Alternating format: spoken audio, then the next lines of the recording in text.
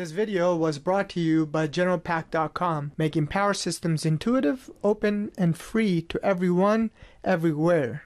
Consider subscribing and supporting through patreon.com slash generalpac. This is the mechanism for you to support us financially so we can continue making high quality power system video tutorials. Our corporate sponsor for this topic is AllumiaX.com from Seattle, Washington. Contact them for industrial and commercial power system studies.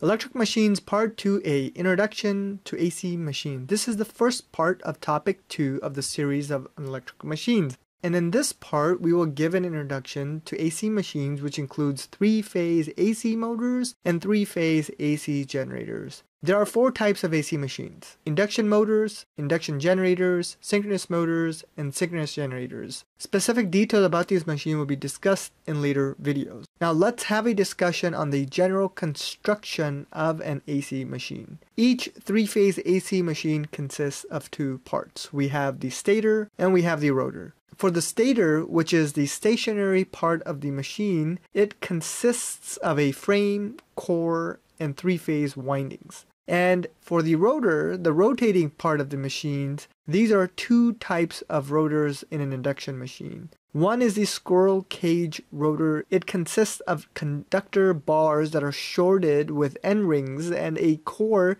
in which the conductor bars are placed. The other one is the phase wound rotor, which consists of three phase windings similar to stator winding and has an option of adding external resistance through carbon brushes and slip rings. Also, there are two types of rotors in synchronous machines, namely the salient and non-salient poles. The salient poles protrudes out of the motor and the non-salient poles do not protrude out of the rotor face. Now let's move on to the next area of construction and talk about the field and armature winding. The concept of armature and field is related only to synchronous machines, which is an armature is an AC machine in the stator winding, while field winding is constant DC supply provided at rotor.